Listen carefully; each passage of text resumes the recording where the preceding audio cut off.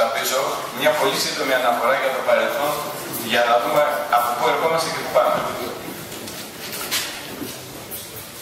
Ιστορικά, ο ρόλος της ελληνικής ηλεκτροπαραγωγής στο ενεργειακό μείγμα της χώρας υπήρξε πάντα σημαντικός, δεδομένου ότι λειτουργήσε ως ο βασικός πυλώνας ασφάλειας εφοδιασμού στην ηλεκτρική ενέργεια και ταυτόχρονα συνέβαλε τα μέγιστα στην ηλεκτροδότηση και την ανάπτυξη της χώρας.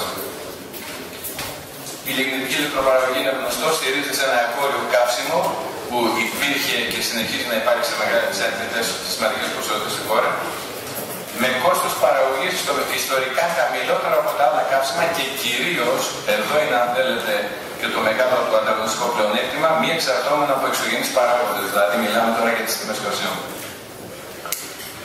Σημαντικό είναι αυτό που κατηγορούμε από τώρα. Στο ελόγο περιβάλλον δεν υπήρχαν πρακτικά ιδιαίτερες ρυθμιστικές παρεμβάσεις.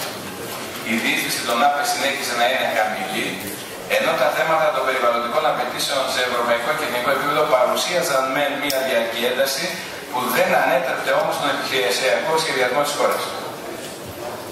Συνεπώς, για μεγάλο χρονικό διάστημα, ο Λιγνίτης αποτέλεσε το ισχυρό ανταγωνιστικό πλεονέκτημα της ΔΕΗ, δεδομένου ότι το κόστος του ήταν ελεγχόμενο, προβλέψιμο και χαμηλότερο των άλλων καυσίμων. Ως αποτέλεσμα όλων αυτών υπήρξε ανάπτυξη ισχυρών δεσμών με τη Δυτική Μακεδονία. Η Δυτική Μακεδονία αποτέλεσε το κέντρο παραγωγής και αποτελεί τις ΔΕΗ για δεκαετίες και θα λέγαμε ότι η ΔΕΗ και η Δυτική Μακεδονία υπήρξαν βίοι παράλληλοι για μεγάλο χρονικό διάστημα. Θέλω σε αυτό το σημείο να σταθώ σε κάποια ιδιαίτερα χαρακτηριστικά του ελληνικού λιγνίτη που συναρτώνται με το θέμα που συζητάμε σήμερα. Πρέπει να πούμε ότι ο λιγνίτης μας έχει χαμηλή θερμοκόνο δύναμη. Έχει την χαμηλότερη θερμοκόνο δύναμη της Ευρώπης. Αυτό σημαίνει υψηλότερο κόστος επενδύσεων, είτε μιλάμε για νέα ισχύ, είτε μιλάμε για επενδύσεις, ας πούμε περιβαλλοντικές επενδύσεις, και υψηλότερο κόστος λειτουργίας. Διότι στην τελική, για να παράγεις μια ηλεκτρική ενέργεια, θέλεις ένα συγκεκριμένο θερμικό περιεχόμενο.